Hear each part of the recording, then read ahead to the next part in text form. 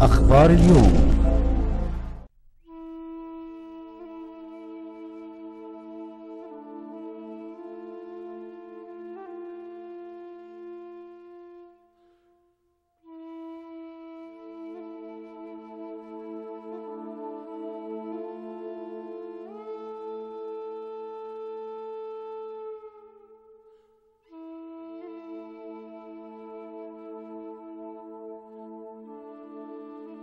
انت مشكلتك إيه؟ إحنا مشكلتنا المستشفى. يظبطوا لنا المستشفى لو عيل تعب أو أي حاجة يروحوا المستشفى ما يلاقيش دكتور. يقولوا لك ده, ده طلع بره. ما فيش دكتور. ان دورت على دكتور بالليل الساعة 7 ما تلاقوهوش. ما تلاقيش دكتور. انت لو ابنك تعب بالليل مش هم... مش هتلاقي. البر التاني أعدي البر التاني عشان أكشف على ابني. أنا بروح بابني الدمرداش أروح المركزي أروح الموظفين كده. يعني أنتوا هنا مفيش مية مفيش وحدات صحية مفيش مرافق. مش شغالة يعتبر. إن عيل اتكهرب ما ما فيش إسعافات ليه عيل اتحرق ما فيش إسعافات ليه. أي حاجة ما تلاقيهاش ما فيش. لو عيل جات له أزمة على صدره ما ما فيش ما تلحقيش توديه. فين؟ انت جوزك بيشتغل إيه؟ ده سو- جوزي سباك ومش هنا بره. في الجزيرة بره الجزيرة. الدكاترة ما- يعني ما تلاقيش فيها قوي دكاترة. ما فيش دكاترة تيجي. ما فيش اهتمام. ما فيش. بتصدقي المية تيجي عشان تغسلي حاجتك؟ كده أنا عندي المية مركبة مية الحكومة بس على طول قطع على طول قطع دي ما صدق إن أنا زي كده الدور أجي أغسل عليها البطانية المواعين. تشربوا منها؟ دي ميتنا دي حلوة بنشرب منها. إحنا عاملينها لها مواسير تحت 40 متر. وكل ما نيجي نسقي الغيط ندورها. نسقي الغيط ونغسل مواعيننا ونغسل بطاطيننا وحصرينا وحاجتنا كلنا و... و... وكل حاجة على نسقي الغيط يعني بتاعتنا خص... اخصاصا يعني. طالبين من مسؤولين الحكومة؟ يساعدونا. يساعدونا ويشوفوا الناس يشوفوا الناس اللي على قد حالها. يمكن أنا عشان جوزي سباك أكون يعني ساندة نفسي شوية. بس في ناس مش لاقية.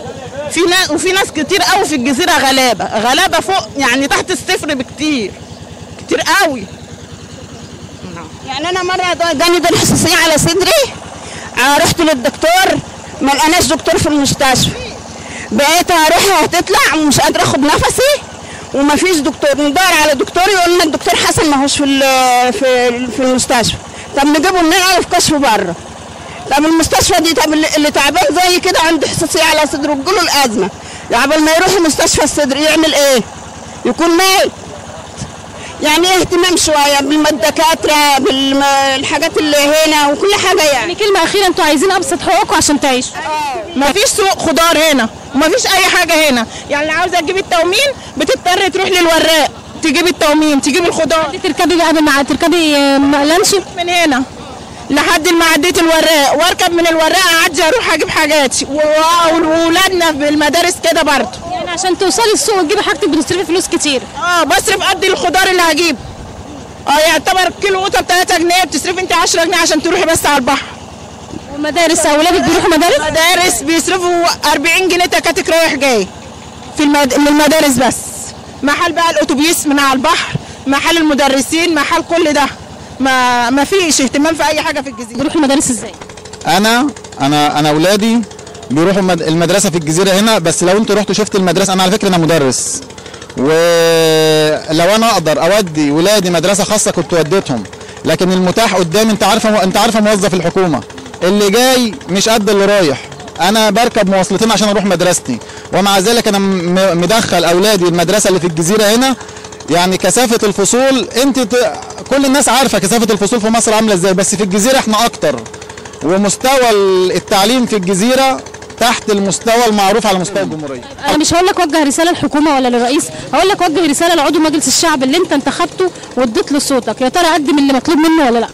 عضو مجلس الشعب إحنا بننتخبه و- وكا زي كل دايرة أو زي كل دورة إحنا بننتخبه وبعد كده ما بنشوفوش واللي موجود إحنا ما نعرفش عنه أي حاجة ولا بينزل الجزيرة أساسا. وبنقول له يا أستاذ الفاضل يا محترم الناس انتخبتك الناس اديتك صوتها بص للناس دي عشان الدورة اللي جاية تبقى انت ليك الأولوية.